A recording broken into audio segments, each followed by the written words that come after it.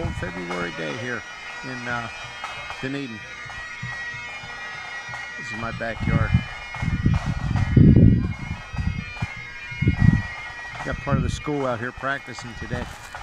I'll walk over and get a picture of them. they're out here doing a little bit of practice today. This girl setting her phone up here so she can watch.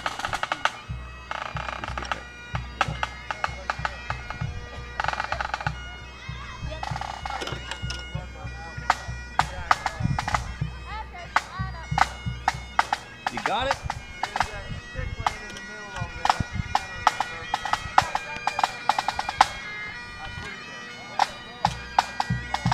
She's got her camera set up here, and they're going to walk up through. Here we go.